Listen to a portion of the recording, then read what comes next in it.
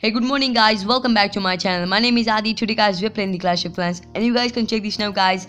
I'm now builder hall 4 right now inside this game. And also guys I created this super duper builder hall 4 base for my for me. Also you guys can check this now. This base is really really really so awesome.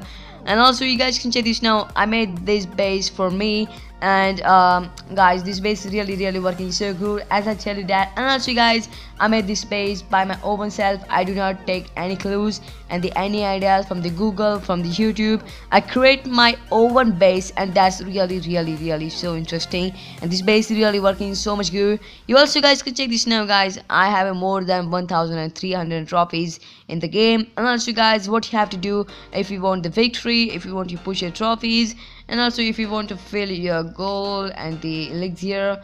So guys you also need to do a best attack strategy. You also have a best attack strategy.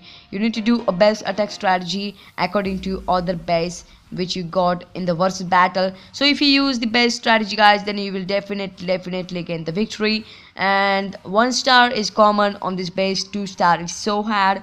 And three star is impossible it's impossible on this base because three star is not possible. No one is do a three star attack on this base. Only the two members would do a two star and only the five or six members would do a one star attack on that base. Means no one do a three star attack on that base because this base is really really really so awesome. So let's check this out some of the replays but before we check i will give you five seconds so make sure you pause the video. And also guys make this base if you are the builder hall four in the game and make this base. And also guys it will help you to push your trophies because this base is really really working so much cool. Let's check this out the replays guys. We're gonna check in the replays so let's check this out. Um 40 percent damage on my base uh, the battle against Nitesh versus me. And he uses the giants barbarians archers.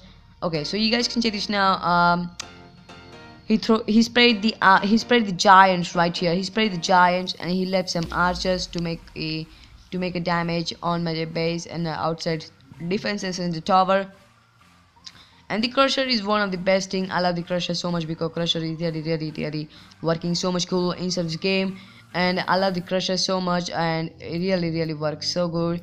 And you also guys can check this now uh I don't give is I we don't give any chance I don't give any chance to destroy my tunnel and that's why he's only able to do 40% damage on my base. There are a lot of there are a lot of um replays like that. So I'm not able to show that one and that all. So guys hope you enjoyed the video and make sure you guys subscribe to the channel. And also guys facecam is coming soon on the channel. So stay tuned for that. And also guys um make sure to subscribe make sure to like the video if you really enjoy and more, make sure to post the notifications. I'll be back tomorrow with more awesome content but for now peace out